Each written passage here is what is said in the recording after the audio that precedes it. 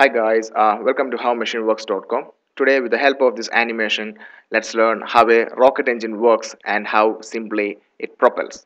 So uh, let's go into its detail. Uh, let's identify the components. That's the nose cone of the rocket.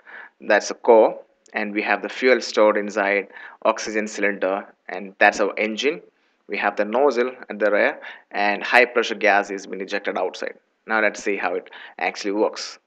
So uh, here uh, we have uh, the oxygen and the fuel being given into the engine and the combustion takes place inside the engine. So you can see as the combustion takes place high pressure gas is being ejected outside. So that's a high pressure gas being ejected outside as the combustion takes place and towards the front we'll get the thrust which push our rocket towards the front. So that's simply how this particular engine works and the rocket is getting propelled. So we have a combustion and high pressure air is being ejected or gas is being ejected outside through the rear nozzle and a thrust is being produced towards the front uh, by the rocket due to this uh, ejecting of the high pressure gas.